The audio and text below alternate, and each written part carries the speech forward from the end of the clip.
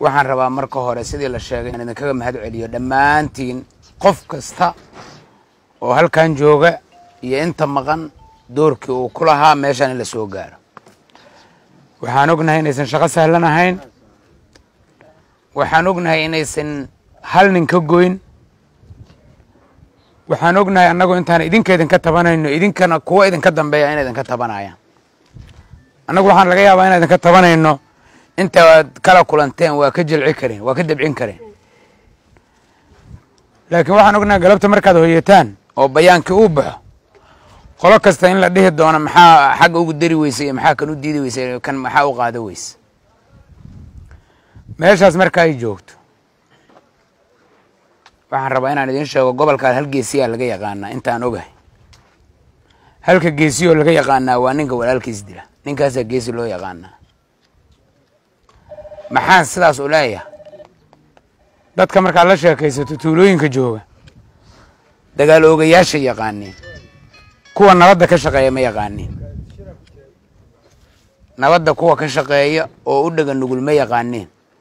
Rag hadda tiro badan oo nabad loo aasayna ma maqal. Rag tiro badan oo la yidhi ayagoo nabad ka shaqeynaya ku dhinteen. Oo la aasay gobolkan aad uguma maqal. Waa jiraan? Mase badna laakiin dad badan oo iyagoo colaad ka shaqaynaya ku dhintay oo loo aasay waa naqaanaa. Kuwa la dulmiyena waa naqaanaa oo iyagoo dagaal ku jirin la dilay. Dhinac kasta ha ahaadeen. Walaalayaalow maanta meeshaan aad joogtiin. Iyo casriga aad joogtiin. Iyo cimriga aad joogtaan. Meeshaanu galabta geesiga nabadday u baahanta. Geesiga dagaalka uma baahna. Jidka aan ku soconno meeshuu ku dhammaanaya inaan naqaano waa. Jidka aan ku soconnaa wuxuu ku dhammaanaa meeshii ay ku dhammaadeen jidadkii aad marteen ee idinkoo isla jira oo isku reera iyo kuwo kaleoo isku reera aad soomaali ku duusheen ee isku duusheen isbaabi'isaan qabyaalo darteed ee keentay intaad soo noqotaan idinku inaad islaysaan ee keentay kuwa safka iskula jiraa maanta inay maalmo ka hor islaayeen dadaan run isku sheegino beenay isku sheegaan waxaan idin leeyahay walaalayaalow waa naga garaad badantihin waana naga caqli badantihin laakiin waxaan u malaynaa mushkuladaa jirta u baahan in la baaro. Bahasha qabyaalad la yidhaah haddii caana lagu maalaayo oo wax lagu gaaraayo oo la kala adkaanayo oo dhul la kala qabsanaayo oo sharaf la kala helaayo waa soo aragteen nooma dhinna nabadda ma tijaabin karnaa? Waa naqaanaa ragga ama lugaha go-an ama gacmaha go-an ama madaxu maqan yahay dagaalada qabiilka ku dhaawacmay? Dhulka halkaan jooga dhulalkaan jooga waa la wada yaqaanaa. Rag nabadda u gacmo go-a ma heli karnaa oo u luga go-a. Kuwo ilaahay uga fogaaday oo aan ogahay inaan niyadda ku wada haysaan isleediin hebel ninka leeraa meeshuu ku dhintay xumeeda. Xumeeda meeshuu ku dhintay.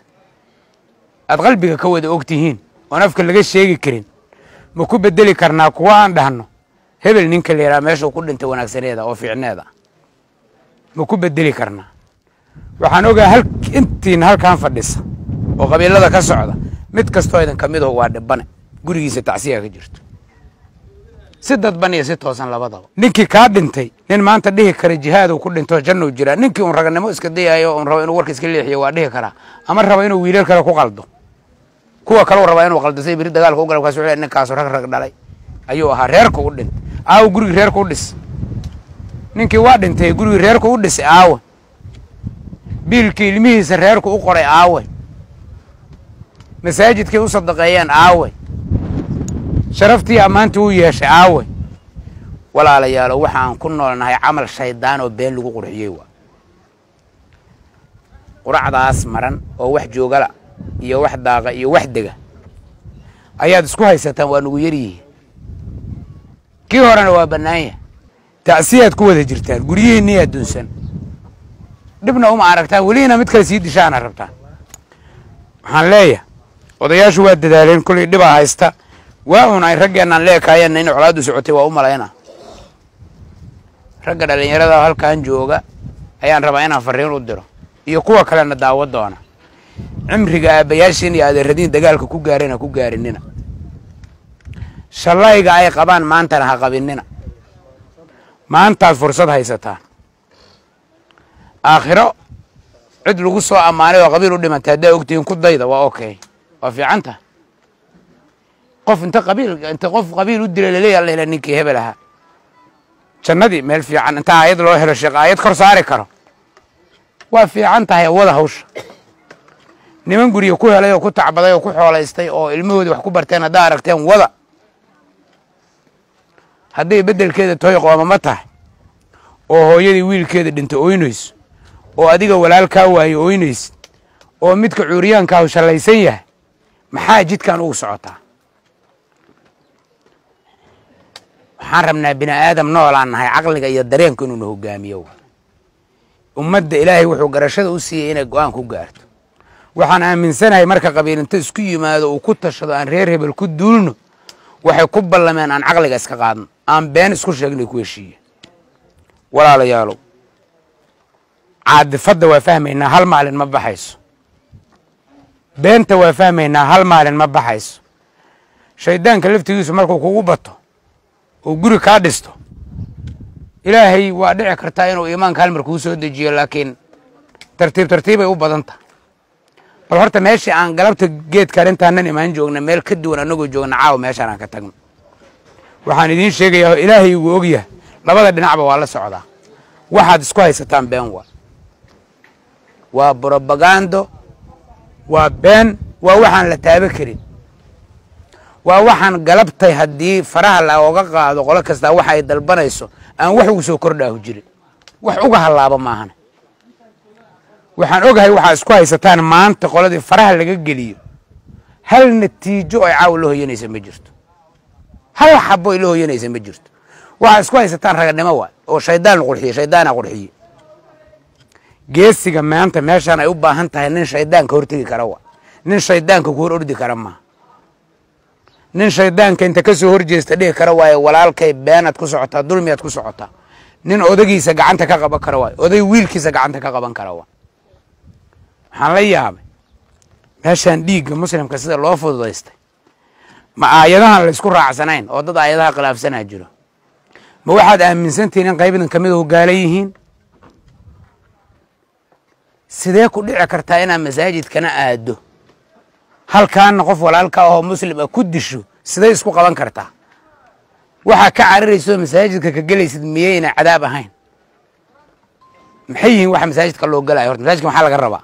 Masaajidka soo ilaahay naxariistiisa lagama rabo war ninka ragahe galabta inta go'aan qaatay yiraa colaadaas anaa go'aan ka gaaray. Anaa geesi anaa banaanka taagan qabiil ma ahi fidno ma rabo. Muxuu ka baqaa? Miyaanay ahayn wuxuusan aaminsanayn ilaahay ballanqaadka u bixiyey inuu run yahay. Ilaahay ballantu qaaday inay run tahay. Miyuu qofkaasi ka shakisayo wuxuu is leeyahay? Waxaas niyow mise ballanta ilaahay waxaa kala weyn?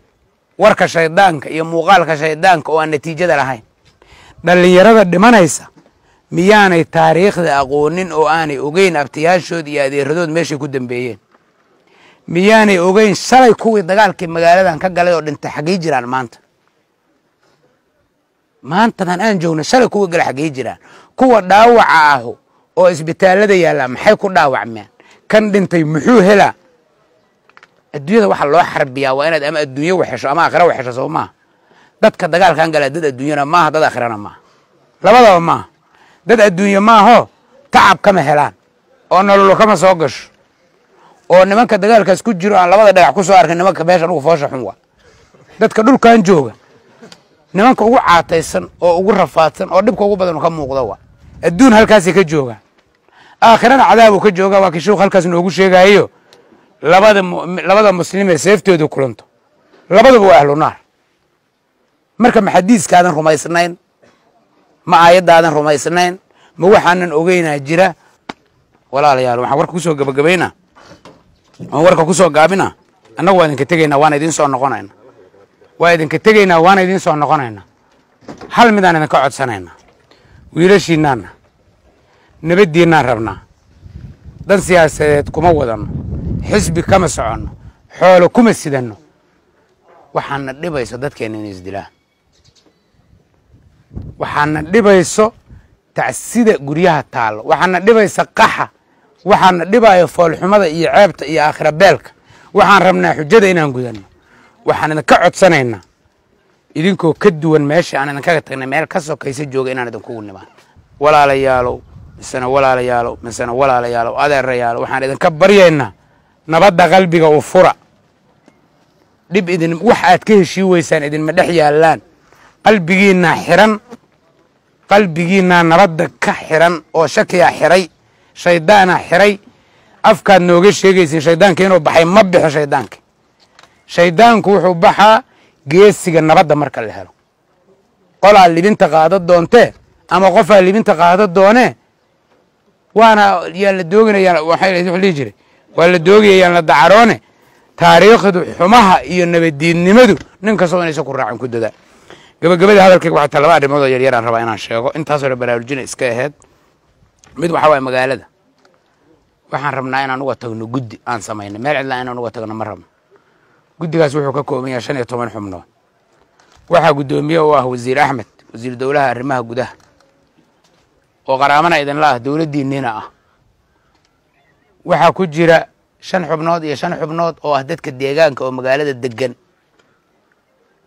waxaa ku jira afar nin oo odayaalahoo dadka dowladda galmudug ka tirsan oo aan labada dhinac ka kala jeedo aan ugu talagalna inay kaabaan. Waxaa halkan jooga saraakiisha ciidamada. Waxaan rabnaa guddigaas iyo saraakiisha ciidamada inay isku xirmaan. In nabadda magaalada iyo in dadkii magaalada ku soo noqdaan iyo in dadka kalsoonideeda la soo celiyo iyo in ehelnimadii soo noqoto iyo in shakigu baxo nabadduna jirto inay ka shaqeeyaan. Oon xabajoojintaas wax ka soo noqon odayaasha waxaan weydiisanaynaa inay la shaqeeyaan oo dhabarka ka istaagaan oo waxa ka xumaada ay u fududeeyaan. Waxaan rabaa inaan idiin sheego waxaan aaminsannahay oo ku qanacsannahay oo fahamsannahay nabad deegaankan ugama imaanayso ciidan laydin dhex dhigo. Ma uga imaanayso mana uga doonayno ciidanku xaalad marxalad aan nabaddu ku timaaday abuuri karaane nabadda ma abuuri karaan sababtoo ah dad wada dhashay oo deegaana oo sahal yaqaan oo isguri yaqaan oo nimbow gabadha walaashiis qabo oo wax kastaa ka dhexeeyaanaa tihi sidaas daraaddeed waxaan rabnaa guddigaas in lala shaqeeyo.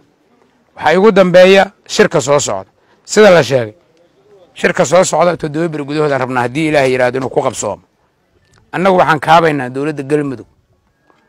Waxaan abaabulaynaa dadkii ehelkiina ahaa oo nabad nabadda wanaagga jeclaa waxaan rabnaa shirkaas qalbi wanaagsan ina ugu diyaargarowdaan waxaan rabnaa tanaasul ina u diyaargarowdaan waxaan rabnaa qalbi furan oo walaal wax isku weydiisto oo aan hagag iyo iska celi ahayn inuu noqdo.